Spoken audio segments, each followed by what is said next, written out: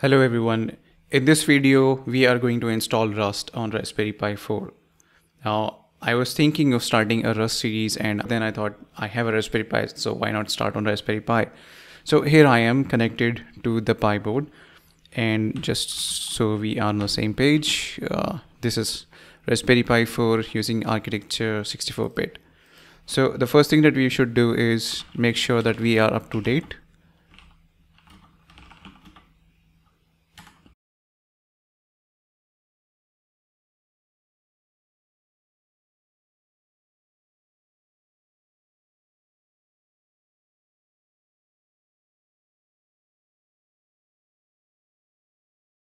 in the meantime let's get over to chrome.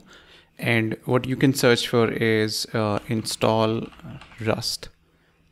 And that will land you on to install rust programming language page which gives you a, a simple command to execute and that will take care of setting up rust environment for you. So let's copy this and head over back to our raspberry pi.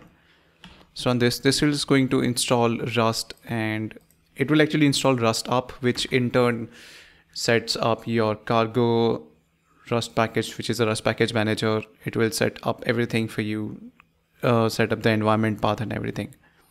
At this prompt it's asking us whether we want to go with the default installation which is here or if you want to change or customize the installation that you want. We are going to go with the first one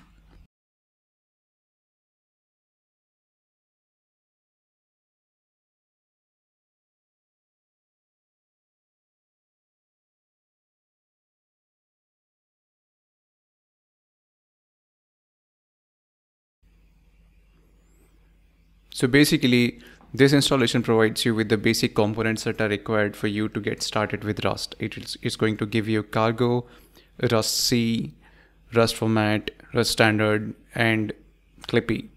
So as of now, you can either close the current uh, session on, on your terminal or you can just continue, which will actually, if you reopen your session in, in a new window of your terminal, it will set up the current the right path that is required. But for now what we're going to do is just set the uh, source the environment file so that we can continue using the same session. And with that we should be able to do rust c version.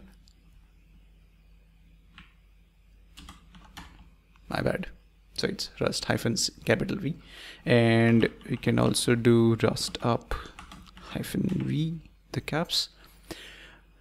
And the next thing we also have in fact you can actually take a look at rust hyphen la lz ls hyphen la let me clear the terminal. And if you look at the home directory you should see rustup. And we also have cargo. So we are all set to go ahead with our first project. So when I generally prefer to create a workspace directory in my home workspace and I prefer to put everything inside workspace. So I can do cargo new and we want to create a binary or you, you can actually skip it because binary is the default. You can just say hello world. And if you look now, we have a hello world. Let's get inside hello world. And if we do a tree we have things set up for us. Now we can actually do uh, a cat on src main.rs so this is the initial file that has been written for us. By default we can directly go ahead and run it with cargo. We can use cargo build which will build uh, the project and what it will do it will generate uh, a binary for us in under targets under debug. And if you were to use cargo build hyphen hyphen release this will create another directory under target which will have the name as release. So if we do ls target we have now debug and release you can run either of them or you can just simply go ahead and run cargo run which will run our program and just say hello world congratulations you have just now set up Rust programming environment on your Raspberry Pi. In the next video, we will set up our Rust environment a little more sophisticatedly. So we'll be installing NeoVim and set up LSP so that we can work with Rust on Raspberry Pi. Stay tuned.